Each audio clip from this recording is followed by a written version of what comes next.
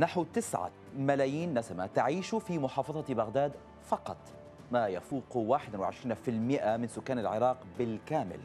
ويذهب البعض إلى أكثر من ذلك ما يجعل بغداد أكثر محافظات العراق اكتظاظا بالسكان ومن أعلى ثلاث عواصم عربية أيضا اكتظاظا هذا العدد الكبير ترافقه تحديات كثيرة تتمثل بالخدمات الأساسية التي تتشارك في تلبيتها محافظة بغداد مع أمانة بغداد وعدد من الوزارات. فيما تتصدى المحافظة للجزء الأكبر بعد تسلمها صلاحيات عدد من الوزارات كالتربية والصحة وغيرها. ملف بناء المدارس يكون من الملفات الشائكة في العراق وبغداد تحديداً. فمع زيادة عدد السكان من الطبيعي أن تزداد الحاجة إلى المدارس التي أعلنت المحافظة عن إنجاز 214 منها عامي 2021 وعام 2020 بينما تشرع لإنجاز عددا آخر هذا العام. فما هي حاجة بغداد من المدارس اليوم؟ لنتحدث عن المستشفيات فإنشاء مستشفيات جديدة أو تجهيزها من مهام المحافظة أيضا بعد نقل صلاحيات وزارة الصحة.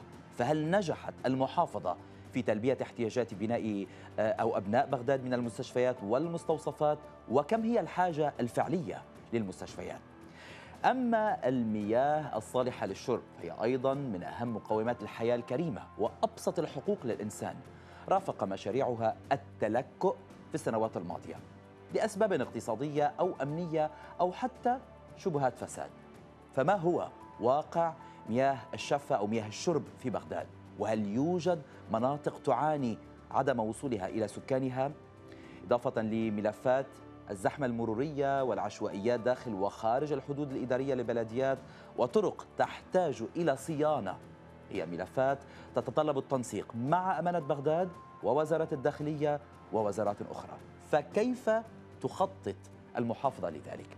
أسئلة مشاهدينا كثيرة آه، طبعا آه، أخرى وعلامات استفهام عديدة نطرحها اليوم مع لبحث عن أجوبة لها. أغلبها يخص الأقضية والنواحي وأطراف مدينة بغداد التي هي صلب عمل المحافظة.